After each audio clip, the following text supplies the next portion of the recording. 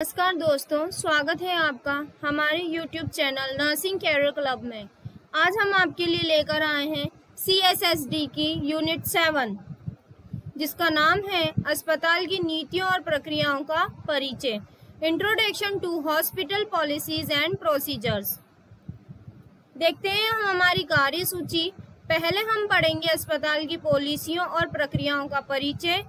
जो हम slide number छः पर पढ़ेंगे, दूसरा अस्पताल की नीतियों के उद्देश्य जो हम स्लाइड नंबर सात पर पढ़ेंगे, तीसरा अस्पताल की नीतियों और स्वास्थ्य संबंधी के उद्देश्य जो हम स्लाइड नंबर नौ पर पढ़ेंगे, चौथा स्वास्थ्य देखभाल प्रक्रियाएँ जो हम स्लाइड नंबर दस पर पढ़ेंगे, पांचवा स्वास्थ्य संबंधित नीतियाँ और प्रक्रियाएँ जो हम स्लाइड नंबर ग्यारह पर पढ़ेंगे, छठा अस्पताल की नीतियाँ और प्रक्रियाओं के प्रकार जो हम स्लाइड नंबर बारह से पंद्रह पर पढ़ेंगे सातवां नसबंदी और कीटाणु शोधन जो हम स्लाइड नंबर सत्रह पर पढ़ेंगे, आठवां नसबंदी और कीटाणु शोधन के तरीके जो हम स्लाइड नंबर अठारह पर पढ़ेंगे, नौवा स्टरलाइजिंग अभ्यास जो हम स्लाइड नंबर उन्नीस पर पढ़ेंगे, दसवां सहकर्मियों और कार्य क्षेत्र में चिकित्सा शब्दावली का उपयोग जो हम स्लाइड नंबर बीस पर पढ़ेंगे, ग्यारह चिकित्सा शब्दावली की उपयोगिता जो हम स्लाइड नंबर इक्कीस पर पढ़ेंगे, बारह रोज़मर्रा की स्थितियों को काम आने वाले चिकित्सा शब्द जो हम स्लाइड नंबर बाईस से पच्चीस पर पढ़ेंगे तेरह चिकित्सा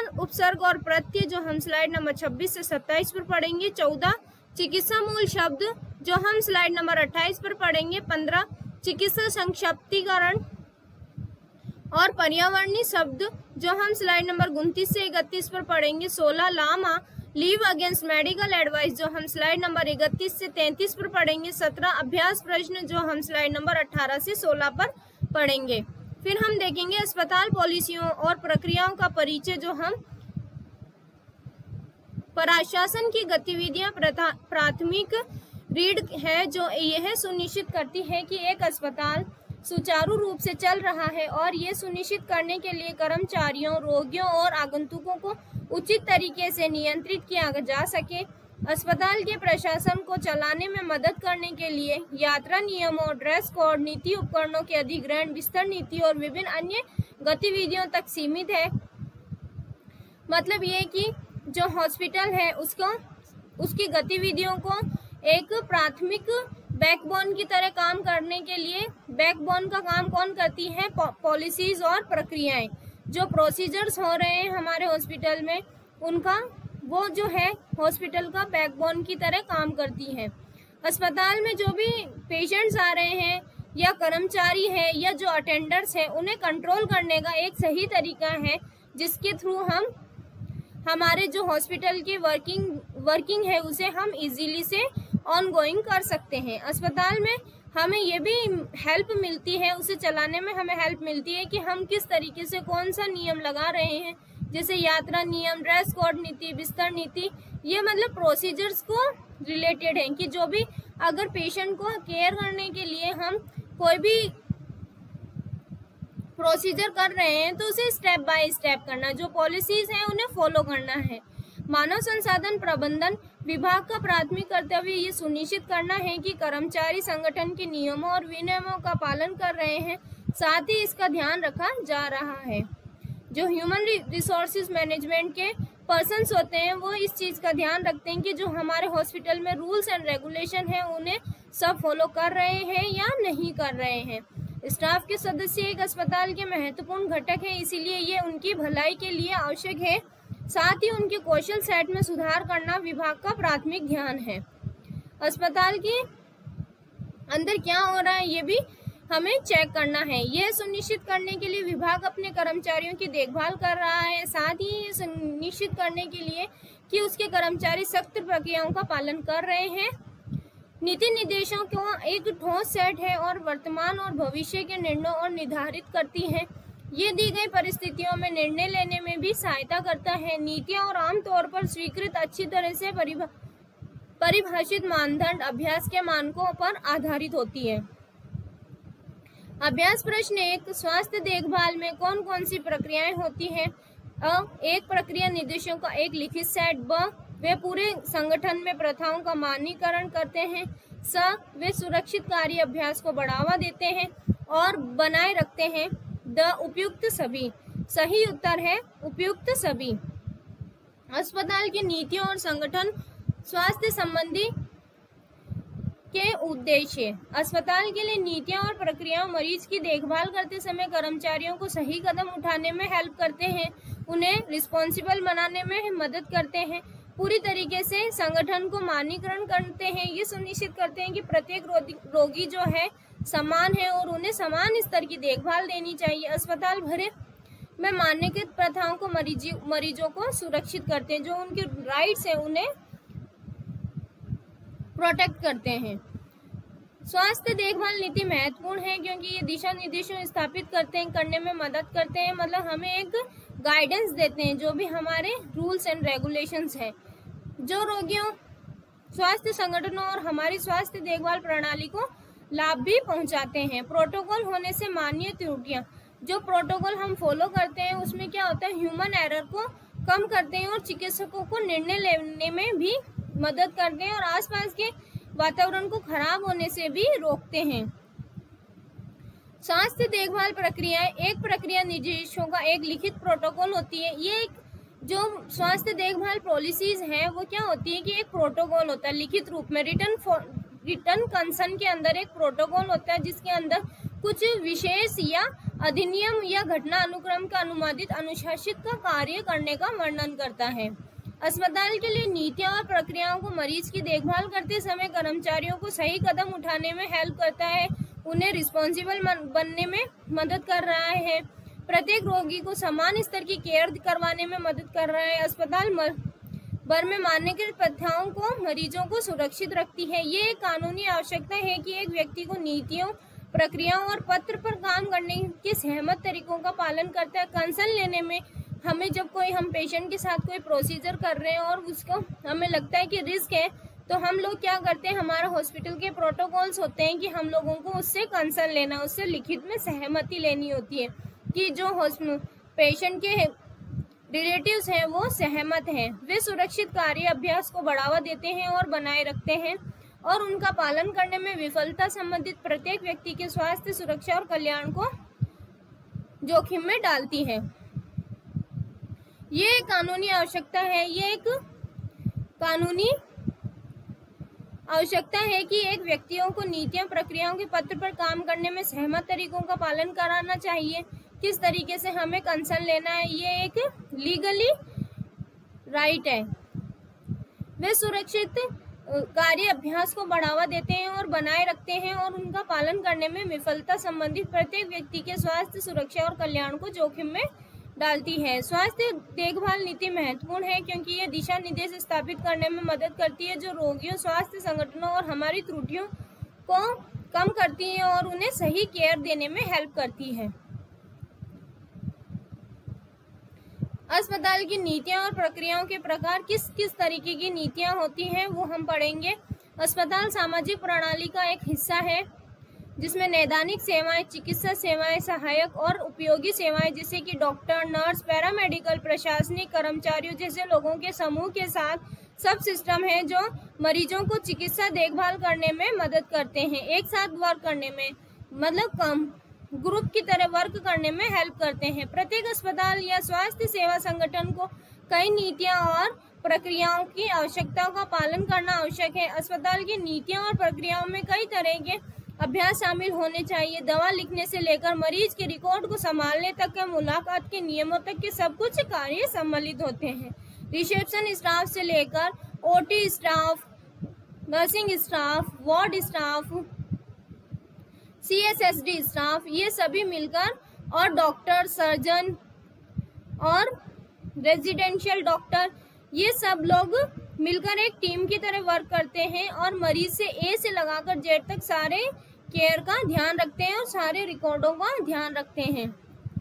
इतने सारे अलग अलग क्षेत्रों में नीतियों के साथ अस्पतालों के लिए नीतियों और प्रक्रियाओं को अच्छी तरह से व्यवस्थित और आसानी से खोजा जा सकता है। उन्हें अलग अलग विभागों या भूमिकाओं की अलग अलग हैंडबुक में बांटा जाता है। मतलब जो भी अलग अलग डिपार्टमेंट्स हैं, जैसे न्यूरो सर्जन आइसोलेशन आईसीयू इनको अलग अलग डिपार्टमेंट्स में बांटकर अलग अलग तरीके से रिकॉर्ड बनाया जाता है। इन फ्यूचर अगर कोई प्रॉब्लम होती है पेशेंट को तो उससे जल्दी से हम निकाल सकते हैं उसकी हिस्ट्री को। और हालाँकि कई नीतियाँ दूसरों से जुड़ी होगी और उन्हें प्रकार आधार पर सामूहिक करना सामूहिक करने में मदद भी करती हैं। यहाँ कुछ अलग अलग प्रकार की नीतियाँ दी गई हैं जो हर अस्पताल में होनी चाहिए। प्रशासनिक नीतियाँ एडमिनिस्ट्रेटिव पॉलिसीज़ जो एडमिनिस्ट्रेटिव पॉलिसीज़ होती हैं, वो क्या करती है? कर्मचारियों, रोगियों और आगंतुकों को सही तरीके से नियंत्रित करने में मदद करती है। ये एक प्रशासन को बैकबोन की तरह काम करती है, प्रशासन की गतिविधियाँ प्राथमिक रीढ़ है, जो ये सुनिश्चित करती हैं कि एक अस्पताल सुचारू रूप से चल रहा है। ये सुनिश्चित करते हैं कि कर्मचारी रोगियों और आगंतुकों को उचित तरीके से नियंत्रित किया जा रहा है। संसाधन प्रबंधन नीतियाँ रिसोर्सेज मैनेजमेंट ऑफ़ पॉलिसीज़, मानव संसाधन प्रबंधन विभाग का प्राथमिक कर्तव्य ये सुनिश्चित करना है कि कर्मचारी संगठन के नियमों और विनियमों का पालन कर रहे हैं। साथ ही इसका ध्यान रखा जा रहा है स्टाफ के सदस्य एक अस्पताल के एक महत्वपूर्ण घटक हैं, जो ह्यूमन रिसोर्सेज के मेंबर्स होते हैं। वो सभी स्टाफ मेंबर्स के रूल्स एंड रेगुलेशन को फॉलो कर रहे हैं या नहीं कर रहे हैं, उसका ध्यान रखते हैं। उन्हें कोई भी हेल्प करती, हेल्प की ज़रूरत होती है तो उन्हें हेल्प करने में मदद करते हैं। देखभाल नीतियाँ और प्रदान करना, प्रोवाइडिंग केयर पॉलिसीज़ एक अस्पताल का मूल उद्देश्य अपने रोगियों की देखभाल करना है कि नीतियाँ और प्रक्रियाओं मैनुअल का सबसे व्यापक सेट है। इस विभाग को निर्देशित किया गया है। इस तरह नीतियों, पोषण गाइड रोगी और परिवार की शिक्षा, दुर्व्यवहार और उपेक्षा, प्रवेश निर्वहन, रोगी कॉल बैंक, रोगी अधिकारों और जिम्मेदारियों के साथ साथ कई अन्य विषयों के विषयों को कवर करती है। उदाहरण के लिए प्रत्येक विभाग की नीतियाँ भिन्न होती है, जैसे पीडियाट्रिशियन अलग होता है, फिजिशियन अलग होता है, सर्जन अलग होता है, हेल्थ एजुकेटर अलग होता है और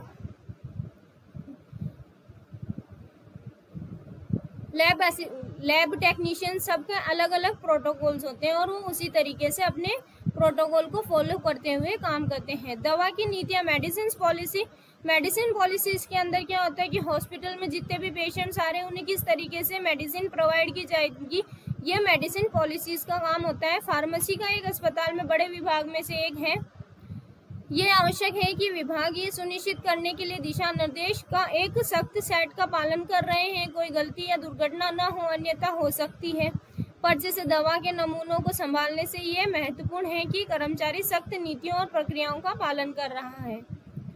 अभ्यास प्रश्न, निम्नलिखित में से अस्पताल की नीतियाँ और प्रक्रिया कौन कौन सी हैं? अप्रशासनिक नीतियाँ, ब, संसाधन प्रबंधन नीतियाँ, स, देखभाल नीतियाँ प्रदान करना, द, उपयुक्त सभी। सही उत्तर है उपयुक्त सभी।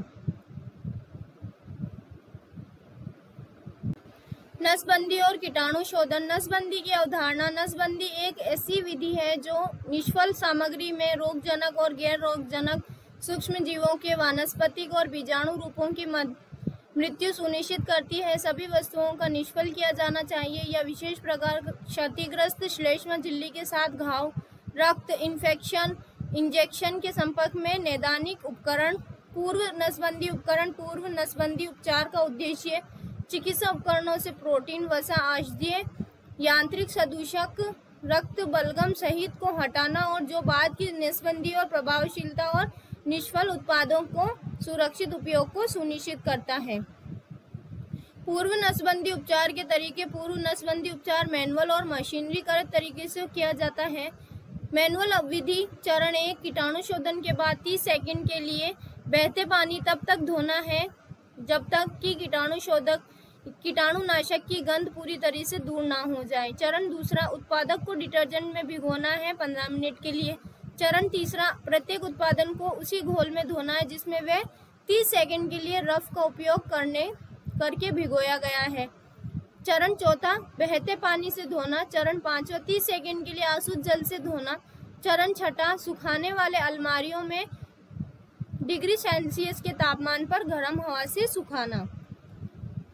स्टेलाइजिंग का अभ्यास, रोगी को देखभाल में उपयोग के लिए बांझ उत्पादों की डिलीवरी न केवल नसबंदी प्रक्रिया की प्रभावशीलता पर निर्भर करती है, बल्कि डिवाइस की, के यूनिट डिज़ाइन, परिशोधन डिसेबलिंग और पैकेजिंग पर भी निर्भर करती है। स्टेलाइजर को लोड करना, निगरानी करना स्टेलाइटी गुणवत्ता और मात्र का उपयोगता लोड सामग्री के लिए चक्र और डिवाइस पुनर्संसाधन के अन्य पहलुओं के लिए।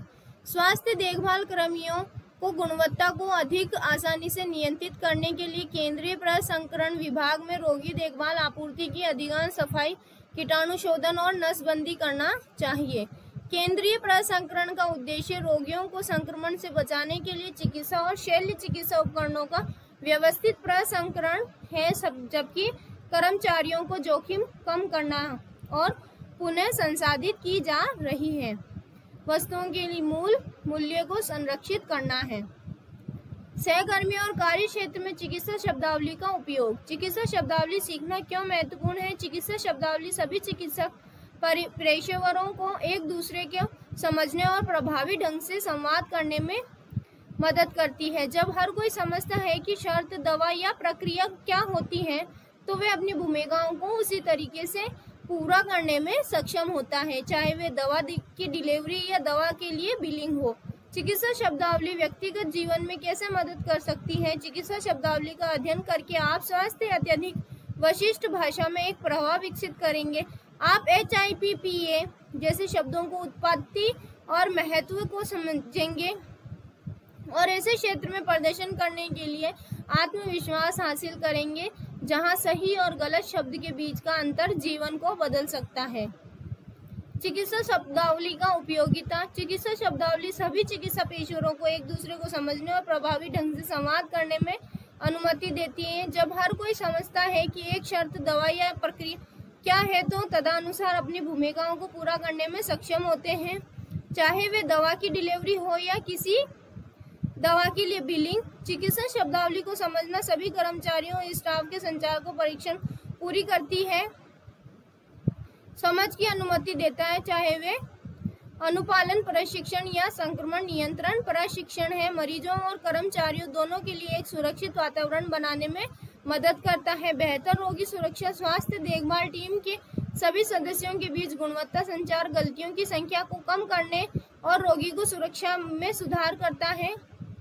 उदाहरण के लिए यदि कोई चिकित्सक प्रक्रियाओं या पूर्व स्थितियों सहित रोगी के लिए पूर्व चिकित्सा इतिहास को जानता है तो ये चिकित्सा को उस रोगी के लिए एक सुरक्षित प्रभावी उपचार निर्धारित करने में मदद करता है। रोज़मर्रा की स्थितियों में काम आने वाले चिकित्सा शब्द घर्षण, एक कट या स्क्रब जो आमतौर पर गंभीर नहीं होता है, फोड़ा, एक कोमल द्रव से भरी जेब जो आमतौर पर संक्रमण के कारण उत्तकों में बनती है, तीव्र एक ऐसी स्थिति को दर्शाता है जो अचानक शुरू होती है और कभी कभी गंभीर होती है, लेकिन अवधि कम होती है। सौम्य कैंसर नहीं। बायोप्सी उत्तक का एक छोटा सा नमूना जिसे परीक्षण के लिए लिया गया है। जीर्ण हृदय रोग जैसी आवर्ती लगातार स्थिति को दर्शाता है। भ्रम एक चोट। डिफिब्रिलेटर, एक चिकित्सा उपकरण जो सामान्य दिल की धड़कन को बहाल करने के लिए बिजली के झटकों का उपयोग करता है। एडिमा द्रव संचय के कारण सूजन, एम्बोलिज्म, एक धमनी रुकावट जो अक्सर रक्त के थक्के के कारण होता है। एपिडर्मिस, त्वचा की बाहरी परत, फ्रैक्चर, टूटी हड्डी या कार्टिलेज ग्रंथि, एक अंग या उत्तक जो एक विशिष्ट कार्य करने वाले तरल पदार्थ का उत्पादन और साथ स्त्राव करता है। उच्च रक्तचाप इन पेशेंट एक मरीज़ जिसे अस्पताल में भर्ती होने की आवश्यकता है, अंत शीरा शीरा द्वारा दी जाने वाली दवा या तरल पदार्थ जो इंगित करता है, घातक कैंसर कोशिकाओं को उपस्थिति को इंगित करता है। आउट पेशेंट एक मरीज़ जो बिना अस्पताल में भर्ती हुए देखभाल करता है, रोग का निदान, रोग की प्रगति और उपचार का अनुमानित परिणाम, पुनरावर्तन, रोगी के ठीक होने के बाद रोगी या लक्षणों की वापसी टांके टांके जो ठीक होने पर उत्तकों को आपस में जोड़ने का काम करते हैं। प्रत्यारोपण एक शरीर से किसी अंग या उत्तक को हटाना, जिसे दूसरे में प्रत्यारोपित किया जाता है। वैक्सीन, एक पदार्थ जो रोगी प्रतिरोधक क्षमता प्रदान करने के लिए एंटीबॉडी उत्पादन को उत्तेजित करता है। जूनोटिक रोग एक रोग जो जानवरों में संचारित होता है। चिकित्सा उपसर्ग और प्रत्यय चिकित्सा शब्दावली उसी संरचनात्मक नियमों का पालन करती है जो सभी भाषा करती है, जिसमें उपसर्ग और प्रत्यय और उपयोग शामिल है। दवा के दायरे के बाहर के शब्दों से आप इनमें से कुछ परिचित हो सकते हैं। ए, अभाव या बिना। एशन, एक प्रक्रिया को दर्शाता है। डाइस, असामान्य, कठिन या दर्दनाक। एक्टमी, किसी चीज़ का सर्जिकल निष्कासन। इसमस एंठन या संकुचन का दर्शाता है, एटिस, आइटिस सूचन का प्रतीक, लिसिस, अपघटन विनाश या टूटना, ओसिस कुछ ऐसा इंगित करता है जो असामान्य है, ऑटोमी काटने के लिए पैथी रोग या रोग प्रक्रिया, प्लास्टी, सर्जिकल रिपेयर, पाली, अनेक छदरा आमतौर पर दिखने के संबंध में झूठा या भ्रामक, रेट्रो पीछे या पीछे। चिकित्सा मूल शब्द मेडिकल रूट वर्ड्स कुछ चिकित्सा मूल शब्द आपके अनुभवों के आधार पर सहज ज्ञान युक्त होते हैं। यदि आप एक एथलीट व्यक्ति हैं, उदाहरण के लिए आप शायद जानते हैं कि हृदय व्यायाम कोई भी गतिविधि है जो आपके हृदय गति को पंप करती है। कार्डियो, दिल से संबंधित, डेमेटोर, त्वचा से संबंधित संबंधित एनसेफेलो मस्तिष्क से संबंधित गैस्ट्रो पेट से संबंधित हेमेटो रक्त से संबंधित मायो पेशी से संबंधित। चिकित्सा संक्षिप्ताक्षर और पर्यावरणीय शब्द। नीचे सूचीबद्ध की तुलना में कई और चिकित्सा योग और संक्षिप्ताक्षर है, लेकिन जब तक आप डॉक्टर या किसी अन्य प्रकार के प्रदाता बनने की योजना नहीं बना रहे हैं, तब तक ये संगनी लाइन अप आपको गति का पहुंचाना चाहिए। एल एस उन्नत जीवन समर्थन B blood work B M I body mass index, उच्च ऊंचाई और वज़न के आधार पर शरीर में वसाओं का एक उपाय BP blood pressure CPR cardiopulmonary resuscitation एक जीवन रक्षक तकनीक जिसे माउथ टू माउथ रिससीटेशन भी कहा जाता है। सी रीड ग्रीवा रीड ईडीईआर आपातकालीन विभाग या आपातकालीन कक्ष ईकेजी इलेक्ट्रोकार्डियोग्राम हृदय की निगरानी और समस्याओं का परीक्षण का एक तरीका एच डी एल सी उच्च घनत्व वाले लिपोप्रोटीन कोलेस्ट्रॉल, जिसे अक्सर अच्छा कोलेस्ट्रॉल कहा जाता है। एच आर हृदय गति प्रति मिनट बीट्स के रूप में व्यक्त। एल डी एल सी घम, कम घनत्व वाले लिपोप्रोटीन कोलेस्ट्रॉल, जिसे अक्सर खराब कोलेस्ट्रॉल कहा जाता है। LAMA, leave against medical advice. Leave against medical advice को मोटे तौर पर इलाज करने वाली टीम की व्यक्त सलाह के खिलाफ अस्पताल छोड़ने पर रोगी के आग्रह के रूप में परिभाषित किया जा सकता है। लामा स्वास्थ्य देखभाल प्रदाताओं के लिए चिंता और चुनौती का विषय है, क्योंकि इससे रुगुणता और मृत्यु दर के मामले प्रतिकूल चिकित्सा परिणाम मिलते हैं। लीव अगेंस्ट मेडिकल एडवाइस का मतलब है, पेशेंट जो है वो बिना डॉक्टर के सहमति के हॉस्पिटल छोड़ के जा रहा है। जिसे डिस्चार्ज अगेंस्ट मेडिकल एडवाइस भी कहा जाता है, ऐसा कार्य कर, जिससे के तहत रोगी उपस्थित चिकित्सा सिफारिश या इच्छा के विपरीत अपना डिस्चार्ज लेता है। ये मुद्दा अस्पताल प्रबंधन स्टाफ और रोगी के साथ साथ तीसरे पक्ष से भी संबंधित है, जहाँ लागू हो। विशेष रूप से डॉक्टर और नर्स नैतिक विचारों और पेशेवर दायित्वों को प्रमाणित करने के बाद गुणवत्ता आश्वासन और मुकदमेबाजी से संबंधित मुद्दों को सामना करना पड़ सकता है। इसीलिए पेशेंट का लामा लिखवाकर हम लेते हैं। लामा में शामिल रोगी तत्काल और बाद में परिणामों पर विचार किए बिना एक खतरनाक निर्णय ले सकता है। तीसरे पक्ष, आमतौर पर नियोक्ता या कानूनी सलाहकार कभी कभी निर्णय में शामिल होते हैं, हालाँकि उन रोगियों के लिए जिनके पास बीमा पॉलिसीज़ हैं। लामा का विकल्प लेने का निर्णय वित्तीय सहायता का अंत हो सकता है, जो बताता है कि लामा लेने वाले अधिकांश रोगियों का बीमा नहीं है या वे किसी भी चिकित्सा सहायता से आच्छादित नहीं है। विकासशील देश ने खराब वित्तीय और निम्न सामाजिक आर्थिक स्थिति को लामा के मुख्य कारणों के रूप में शामिल किया है। सात से नौ विकसित देशों में मानव इम्यूनोडेफिशिएंसी वायरस से संबंधित स्थितियों योगदान कारक है। Thank you. आपको हमारा वीडियो पसंद आए तो लाइक शेयर और सब्सक्राइब करें।